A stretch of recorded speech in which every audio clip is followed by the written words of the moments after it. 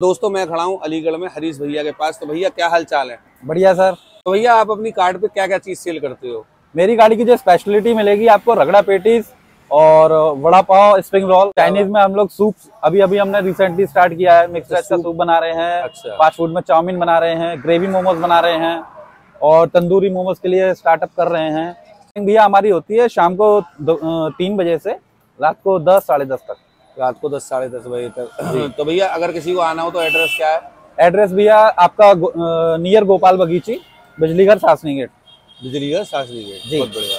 तो जैसा कि आप देख सकते हैं कि भैया ने नया स्टार्टअप स्टार्ट किया है जिसको सिर्फ़ नौ महीने हुए हैं और इन भैया का नाम लिखा है इस कार्ड का नाम रखा है लहर। और ये देख सकते हैं ई रिक्शा पर भैया ने लगा रखा है।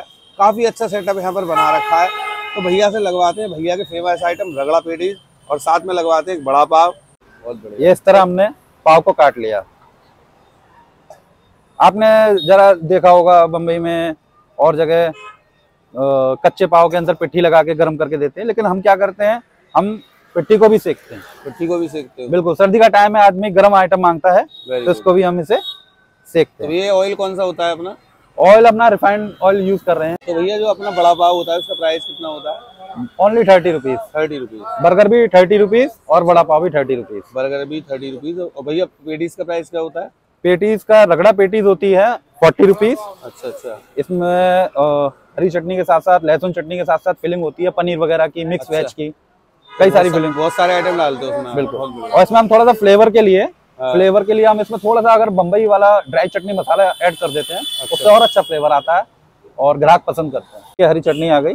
इस इस हरी चटनी को हम घर पे ही बनाते हैं। अच्छा ये किस चीज़ की? भैया धनिया की होती है? ये धनिया मिर्ची अदरक अच्छा अच्छा। और खटाई वगैरह इमली वगैरह मिलाकर अच्छा अच्छा। इसको खट्टी थोड़ा सा और स्पाइसी भी बनाया जाए। बम्बई ड्राई चटनी।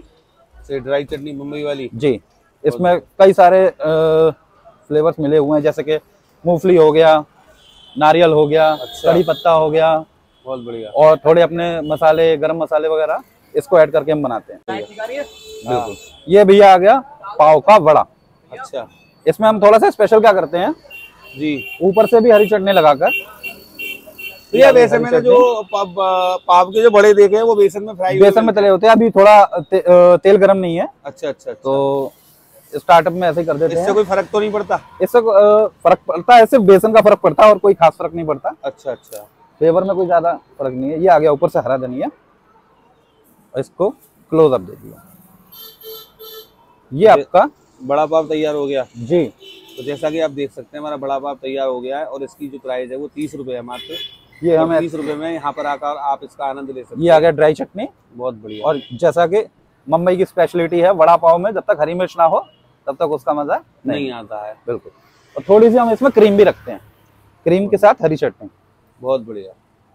कि किसी को ज़्यादा स्पाइसी लगे तो वो क्रीम तो भैया स्पाइसी तो होता है खाने में थोड़ा सा बड़ा पाव? जी। अच्छा। ये सर रेडी है। ट्राई कर लेते हैं।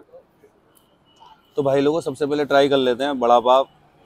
और बड़ा पाव देखो ड्राई चटनी है और साथ में मिंट चटनी है, हरी वाली और साथ में क्रीम दी हुई है। तो क्रीम से ट्राई करता हूँ क्योंकि मैं स्पाइसी कम खाता हूँ